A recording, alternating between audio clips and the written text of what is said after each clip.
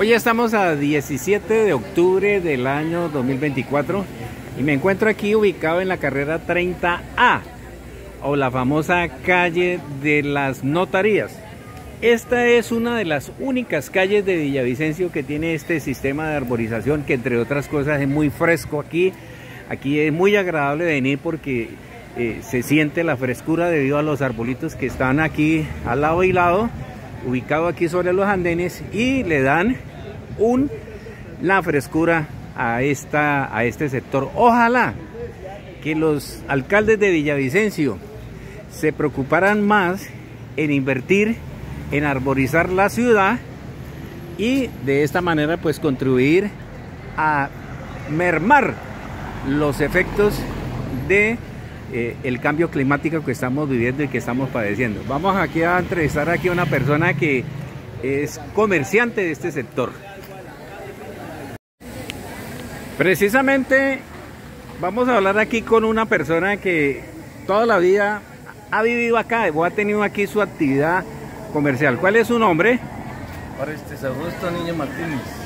Don Orestes, eh, veo que usted vive en, el lugar más fresco de Villavicencio. ¿Qué le puede decir usted a las autoridades ambientales, al alcalde, al gobernador? ¿Cuál sería su mensaje? No, no solamente el lugar más fresco, la, la, la calle más bonita de Villavicencio. Mire esa arbolización tan hermosa y, y, el comercio, aquí es donde está el comercio, donde, donde, está la vida del centro de Villavicencio, donde y, tienen que mirar los gobernantes hacia este lado. ¿Y por qué Villavicencio tiene únicamente esta calle arborizada y el resto no? ¿Por qué? Porque el resto lo tienen abandonado, está feo. Este está bueno y sin embargo algunas personas cortaron esos arbolitos y, y, ya están creciendo, pero es la mejor calle, es la más bonita. ¿Ustedes lo cuidan?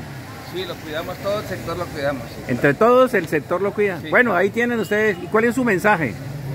Pues, Estamos viendo los estragos del efecto invernadero del cambio climático. Sí, sí, ¿Cree usted que sembrando árboles se mejora la situación del...?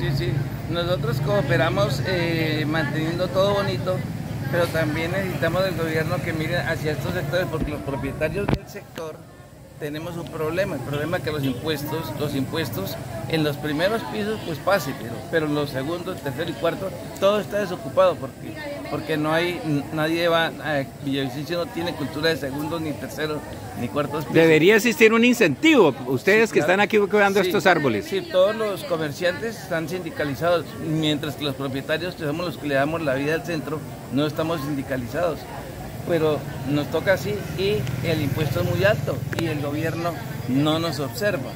O nos observa pero no sabe porque no lo siente. Desde aquí de la calle de las notarías o la carrera 30A les informó Víctor Julio García Rodríguez. Un feliz día para todos.